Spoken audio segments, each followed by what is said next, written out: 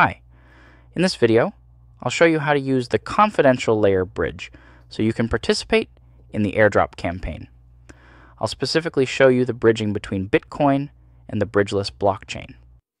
You will find the link to the bridge in the video description. The easiest way is to use the OKX wallet as your Bitcoin wallet, which the bridge directly supports, and use the Rabby wallet for the bridgeless blockchain. If you don't have either of these wallets yet, I describe how to set them up in another video, and you will also find the link to it in the video description.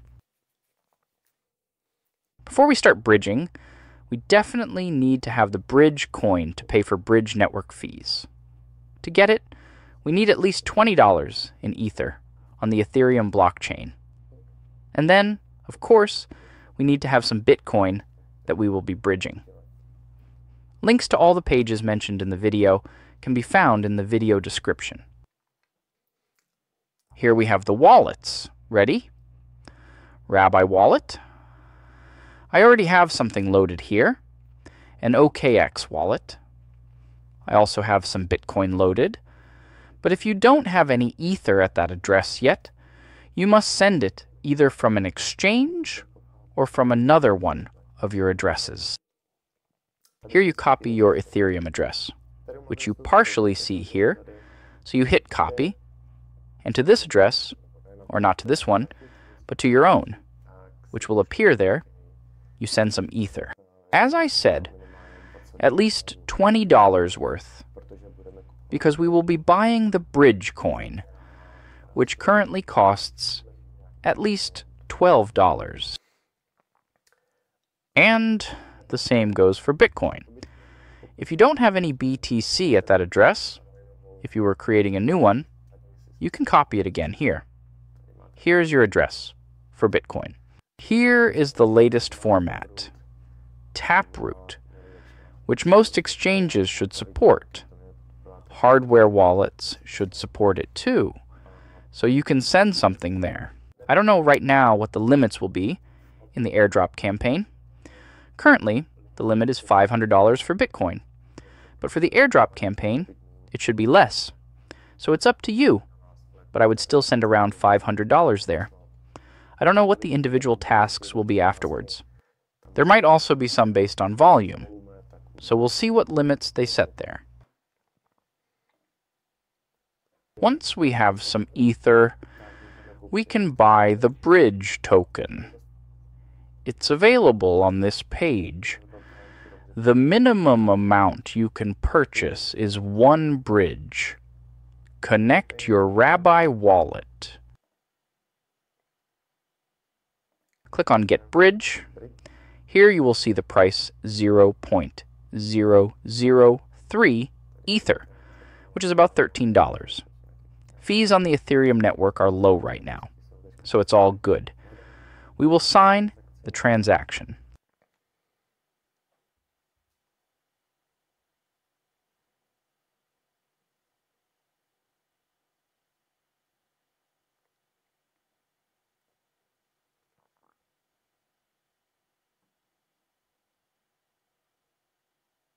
It takes us a moment, but that's okay.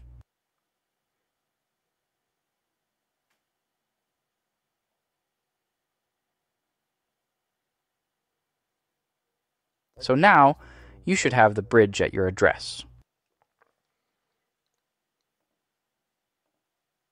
And now, we can look at the bridge as such. So here you see a simple introductory page of the confidential layer bridge. Here you choose the token, or coin, you want to bridge.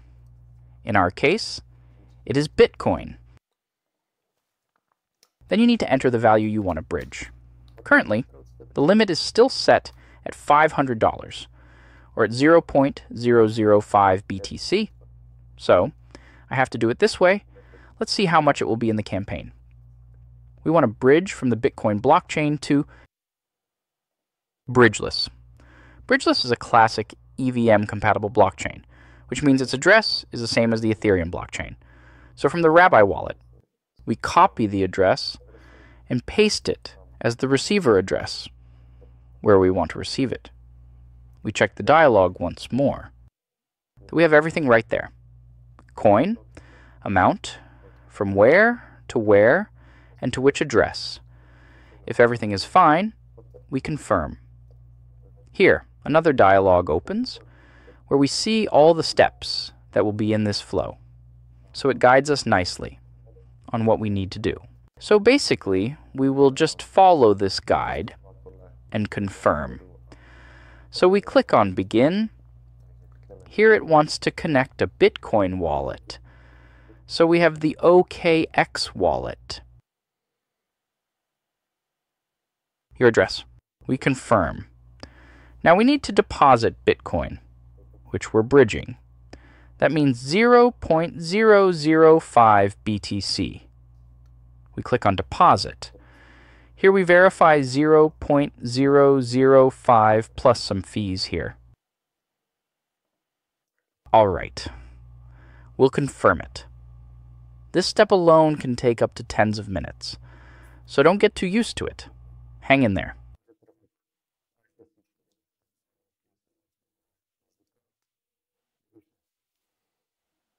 Here you can click to see the details.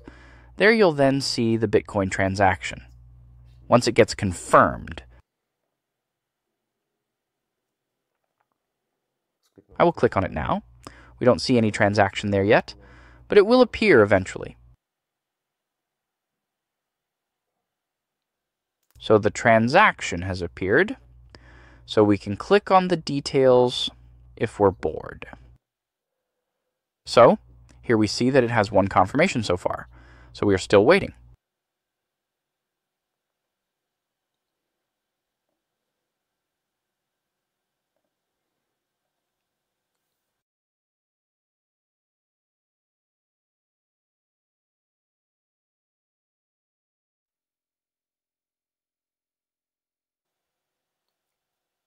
Deposit has already completed. Here, we moved on to the next steps. So we can hide this. This one was done automatically. Here, we are connecting in this step um, Rabby Wallet because we bridge on the bridgeless blockchain, which is compatible with the Ethereum virtual machine.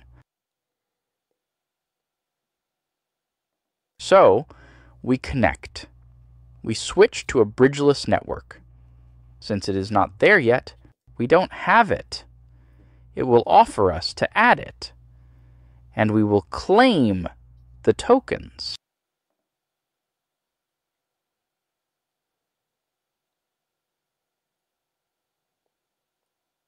We confirm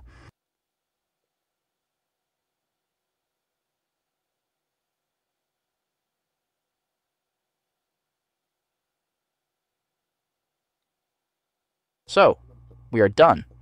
Here we can look at the final transaction. It is already on Bridgeless Network. Here we can see that we received 0.004995 BTC, with one tenth of a percent fee deducted when we look at our address.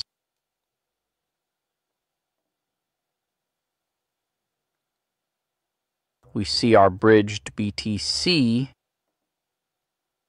Yes, it is our address.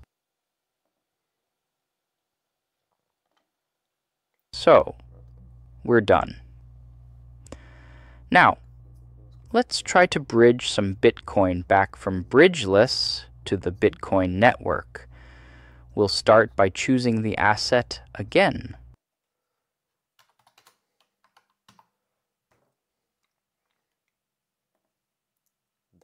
we are sending from bridgeless to Bitcoin. This time, the target address is our Bitcoin one. We copy it from the OKX wallet.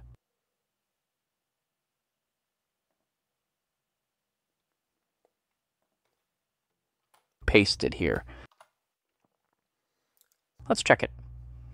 Anyway, I currently have more BTC on Bridgeless, than I bridged over there before, otherwise I couldn't bridge it back. Because with the fee deduction, it was less than 0.005. You know? So keep that in mind. If you want to bridge back, you should bridge more than the minimum. Let's confirm it. We have another list of steps to follow. This time we're connecting an EVM wallet, which is Rabby Wallet. We switch to the bridgeless network. Here, we confirm the amount of tokens we want to bridge, which is the wrapped Bitcoin on the bridgeless network. 0.005 in bridgeless network. Here you can also see the total balance that I have there. We confirm.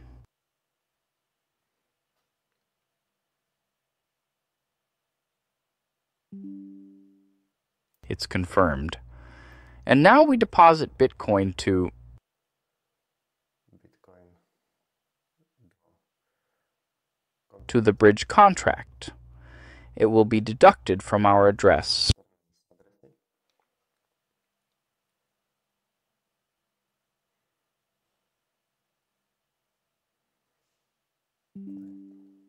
We request a withdrawal to the Bitcoin network. And we confirm the claim of the token.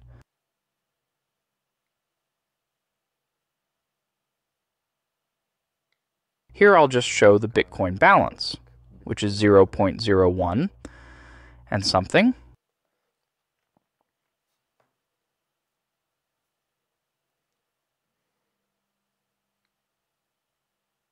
And once the bridge takes place, it will increase by the amount we bridged now. So the bridge is complete. We confirm. So, Bitcoin has been credited. Done.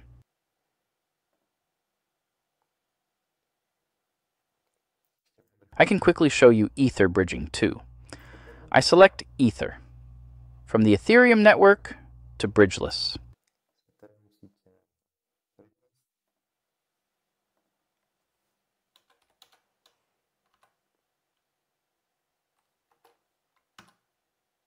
That should be enough.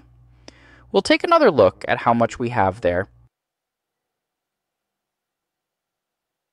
Yep. That's fine. And we're bridging to our address. Check the dialog, and let's click Bridge button and keep Continue. It guides us well again. Connect to EVM Wallet, which is Rabby Wallet, switch to Ethereum network. And here we deposit our Ether. It will be deducted from the address later.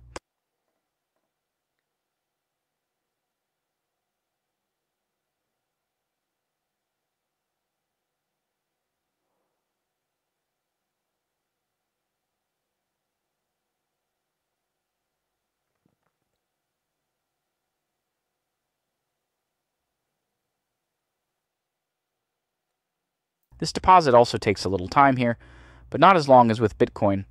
So here it, it's quite okay.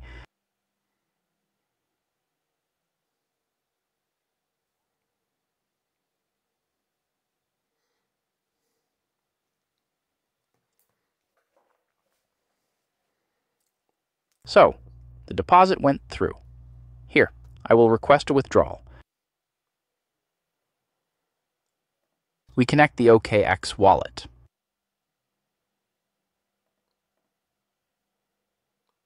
Switch to the bridgeless network, where we want to receive the bridged Ether and claim the tokens.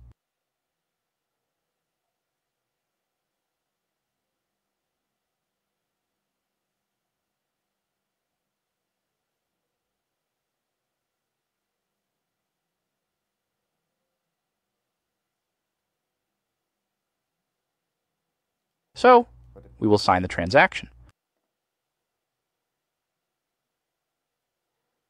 Here we can click on the detail.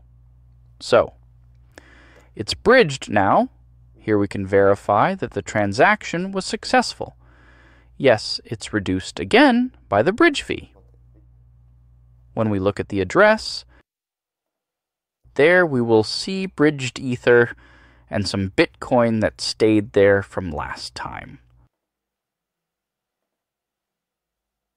Close it and click Done. As you can see, using the bridge is quite intuitive and simple, and you just need to follow the prepared steps and instructions. So you can start trying it out. Take care.